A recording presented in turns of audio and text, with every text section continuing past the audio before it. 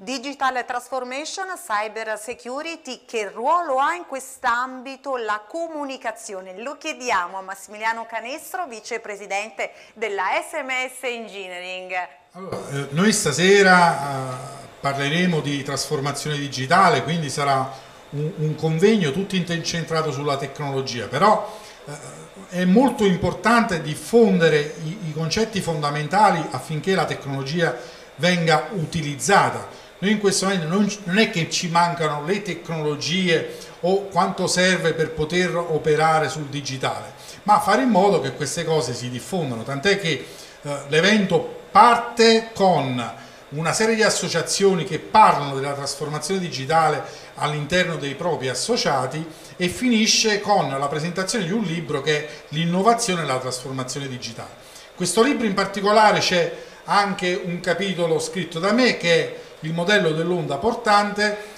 dove si parla di quelli che possono essere gli acceleratori affinché delle informazioni nel mondo digitale possano viaggiare con una velocità maggiore. E noi eh, abbiamo utilizzato proprio per questo evento, in particolare come onda portante, la giornalista Maria Grazia Toscano, che eh, in qualche maniera ha fatto in modo che eh, sia la presentazione e l'invito all'evento, ma sicuramente anche l'evento avrà un successo incredibile, possa diffondersi di più e maggiormente sopra il web. E continuiamo a viaggiare sul web, restiamo sempre connessi e aggiornati grazie a Massimiliano Canestro, grazie sempre alla SMS e a Dell.